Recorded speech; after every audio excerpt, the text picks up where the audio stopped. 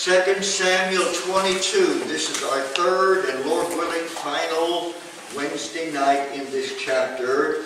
It is David's song of praise and thanksgiving and worship to the Lord for a life of deliverance. David is now a senior citizen.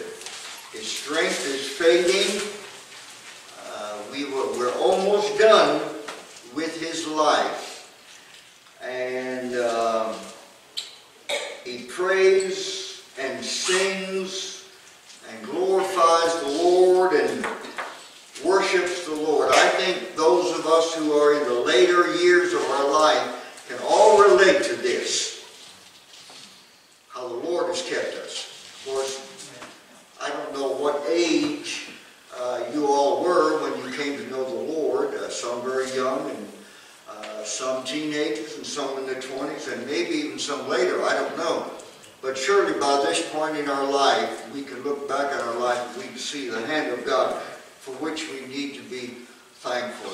As we get into our senior years and look back at our life, there ought to be nothing but praise for the, for the Lord for delivering mercies. And then there ought to be traced to the Lord as we are getting closer to being in that land where we're going to be doing that, among other things, forever and ever and ever. Um, the, the psalm is divided into four divisions. Uh, I did the first division two weeks ago. I did the second division uh, last week. And there are two more divisions, and they won't take long. I'll do those tonight. But since it's been uh, a week since we've been together, let me review by rereading what we've already studied. Uh, the, the, introduction uh, of David praising God for his perfections. And it is interesting that he begins with praising God for who he is first. That would be the right order in praising God. And David spake unto the Lord the words of this song in the day that the Lord had delivered him out of the hand of all his enemies and out of the hand of Saul. And he said, The Lord is my rock and my fortress and my deliverer, the God of my rock. In him will I trust. He is my shield and the horn of my salvation, my high tower and my refuge, my Savior. Thou savest me from violence. I will call on the Lord who is worthy to be praised. So shall I be saved from mine enemies. Notice uh, almost 10 personal pronouns of what God had done for him. We did that two weeks ago. Now then, last week uh, we did uh, verse 5 through the middle of verse 20 where David magnifies the Lord for delivering mercies. Now, uh, in, in, in 5 through 20, there are two things you need to be mindful of. Number one, David, knowing the law and having at his disposal the Pentateuch, the first five books of Moses, when David is using all these metaphors of, of nature and weather, he has in mind the Lord descending on the mount in fire and smoke, giving the law. That's foremost in David's mind. But David, being an outdoorsman, a, a nature boy, he learned all this in all those years. He was out in the back 40 tending to his daddy's sheep. And he saw the power and the magnificence of God in everything, from the rustling of the trees to the lightning, to the hail, to the thunder, to everything. So, verse 5 through 20, and uh, I think much of what I said about that will come back as I, as I read this. When the waves of death compassed me, the floods of ungodly men made me afraid. The sorrows of hell compassed me about. The snares of death prevented me. Remember, I said there were more attempts on David's life than any other personality in the Bible. In my distress, I called upon the Lord and cried to my God, and he did hear my voice out of his temple, and my cry did enter into his ears. Then the earth shook and trembled. The foundations of heaven moved and shook because he was wroth. There went up a smoke out of his nostrils, and fire out of his mouth devoured. Coals were kindled by it. He bowed the heavens also and came down, and darkness was under his feet. And he rode upon a cherub and did fly, and he was seen upon the wings of the wind. And he made darkness pavilions round about him, dark waters and thick clouds of the skies. Through the brightness before him were coals of fire kindled. The Lord thundered from heaven, and the Most High uttered his voice. And he sent out arrows and scattered them, lightning and discomforted them. And the channels of the sea appeared, and the foundations of the world were discovered at the rebuking of the Lord, at the blast of the breath of his nostrils. He sent from above, he took me, he drew me out of many waters. He delivered me from my strong enemy, and from them that hated me, for they were too strong for me. They tormented me the day of my calamity, but the Lord was my stay. He brought me forth also into a large place. He delivered in me. I stopped there last week, in right in the middle, verse number 20, because uh, verse uh, 21 to 28, I'm going to read it in a minute and then make a twofold application. Christians have eyes to see what unbelievers do not see.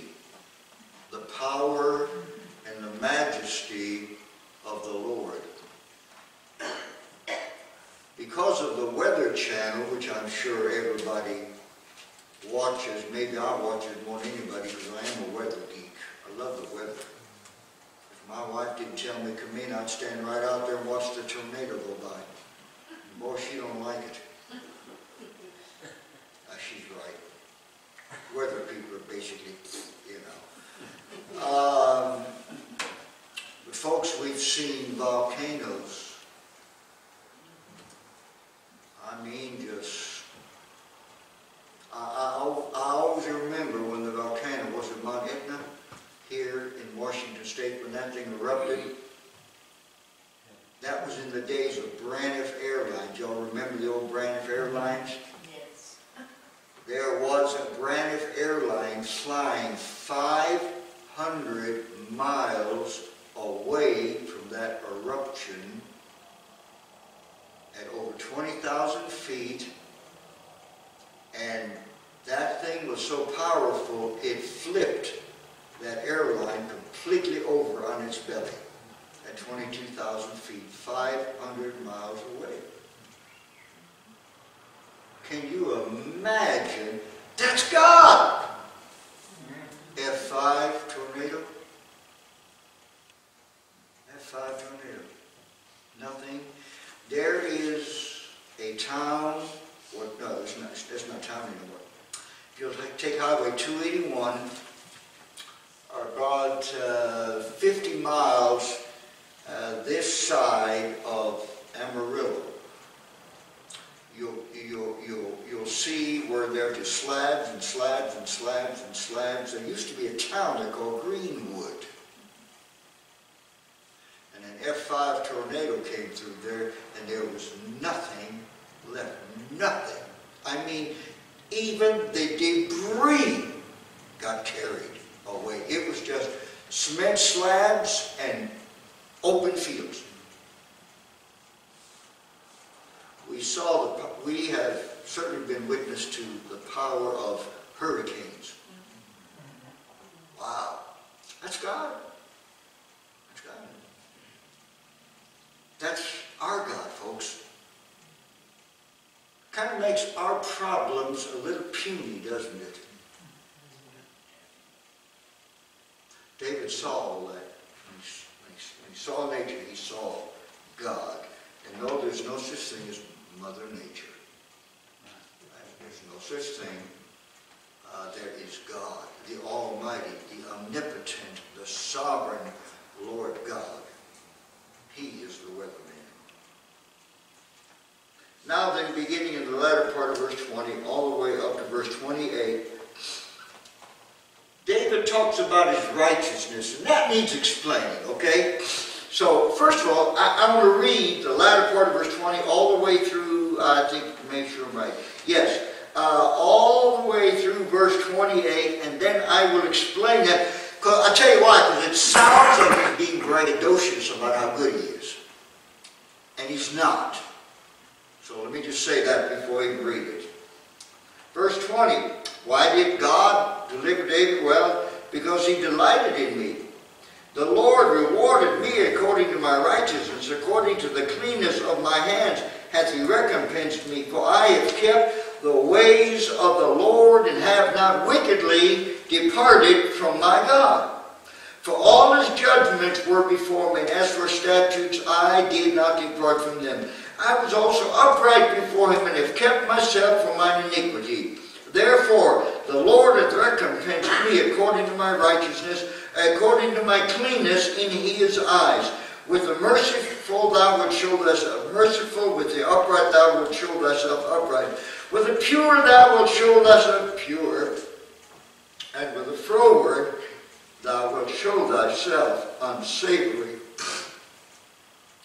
If you take what he says there, verse 20b uh, to verse 28, if you take that out of the Bible, boy, you couldn't make anything out of that.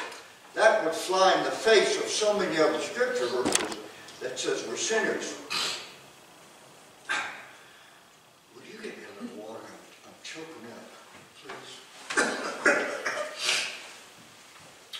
Um, and, and, and that talk about our unrighteousness, and, and that talk about we have no righteousness except in Christ. So what David mean by this? Well, first of all, he is talking about his behavior in relation to the enemies that God delivered him from. And what he means is, oh, thank you. What he means is he did not personally retaliate, against his enemies. That's what he's talking about. First of all, the personal application. He did not take personal revenge on his enemies outside what God told him to do. So from vengeance, he was innocent. The second thing it means, his righteousness was in Christ. He never meant there that he did not, that he saw himself righteous outside of Christ. He was a Christian. He was talking as a Christian that uh, his right, he was righteous because of the righteous Christ in him. Okay? So that's what that's what that means right there. All right. Now, your question on that? Okay. All right. The third thing, well, the fourth thing. Beginning in verse 29 to 45 or 46, he's talking about the deliverance of God and verse 29 to 45 is he is not only talking about David the person, he is talking about David's greater son, the Lord Jesus Christ.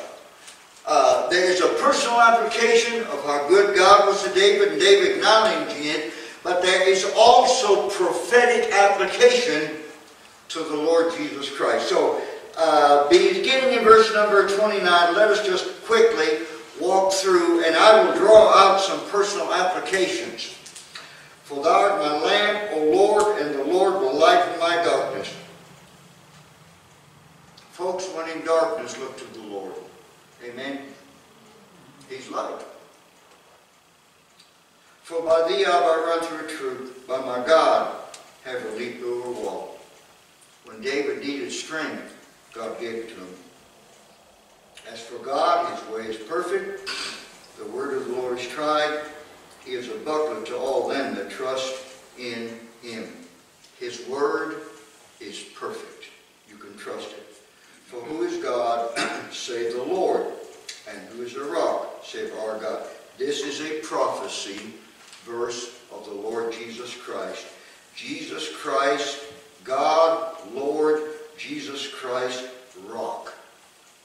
Jesus Christ is God.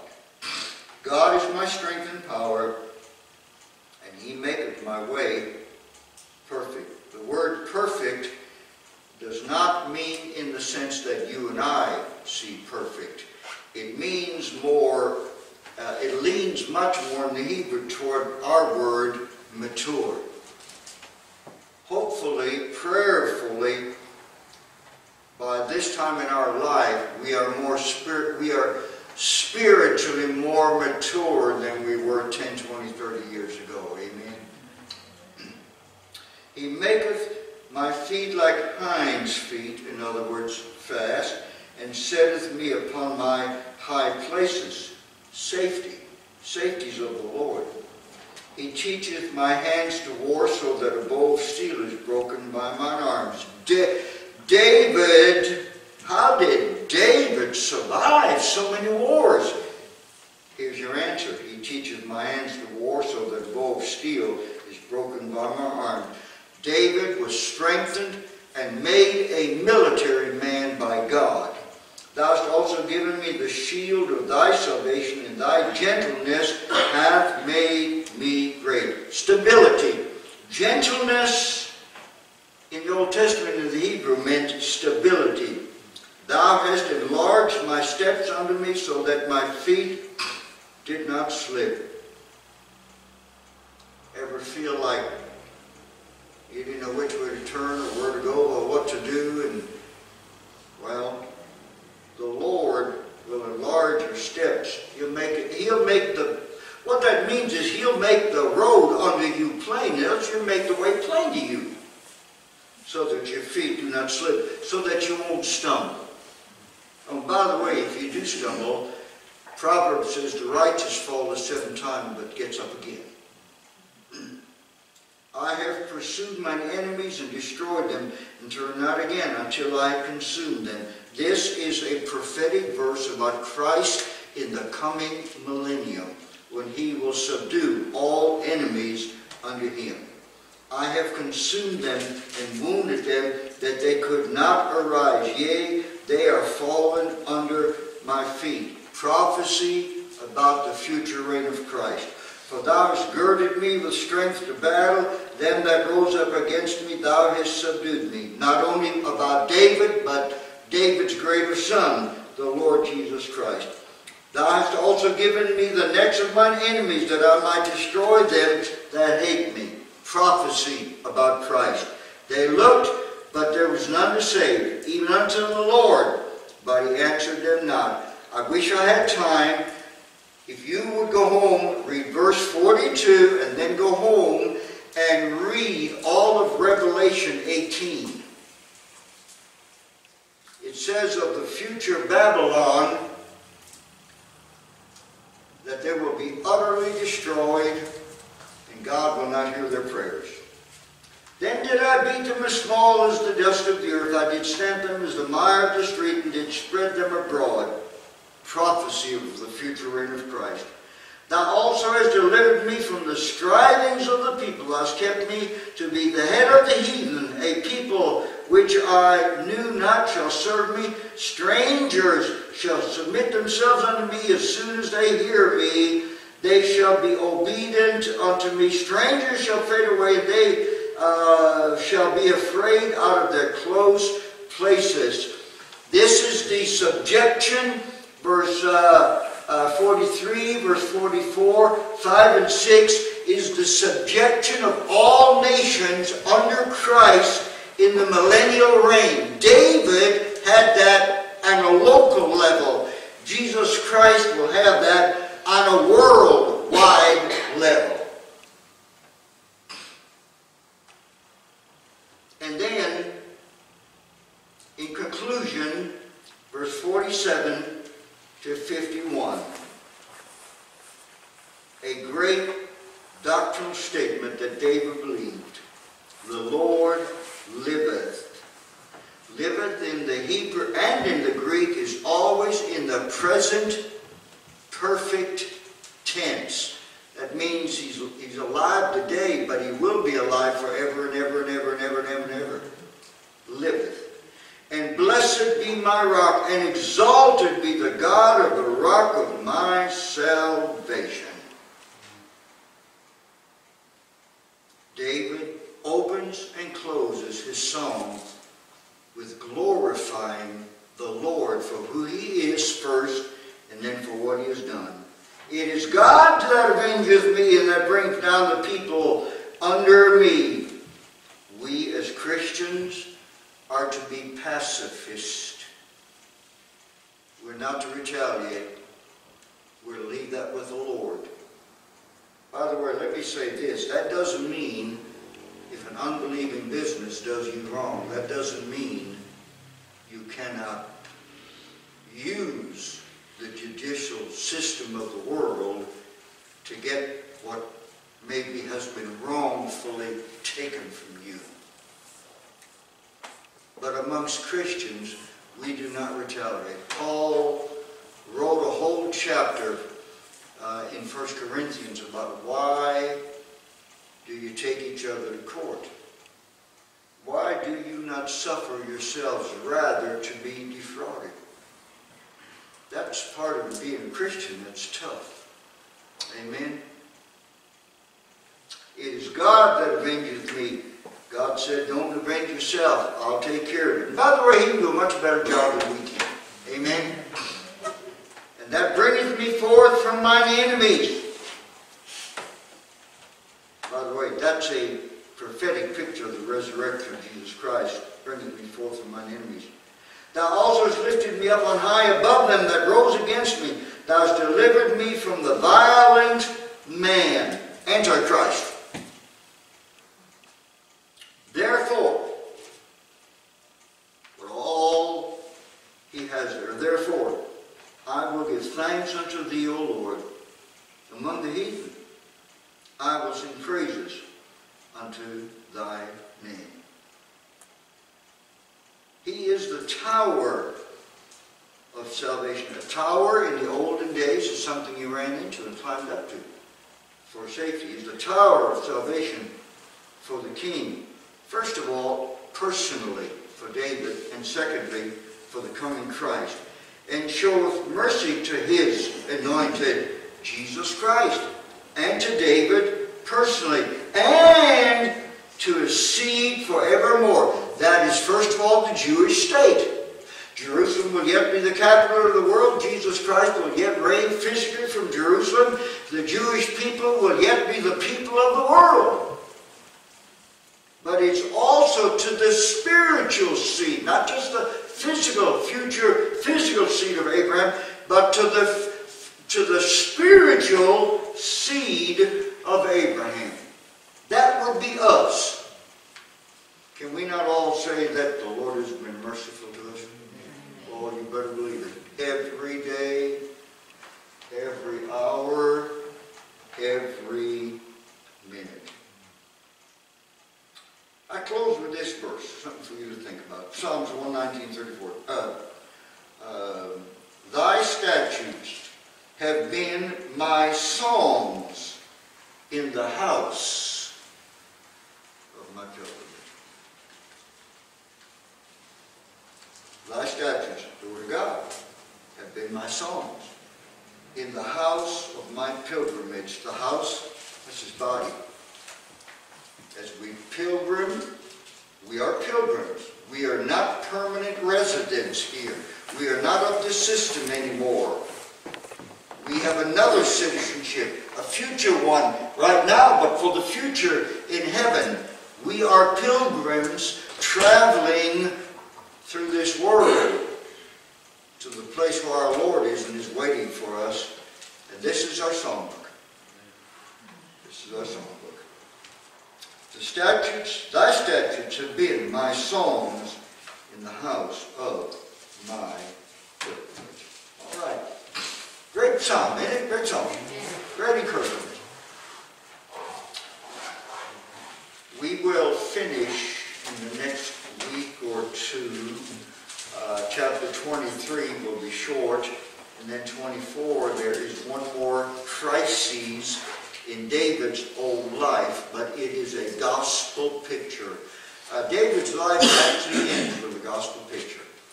And so we will do that if you want to go ahead and read the next two chapters. All right.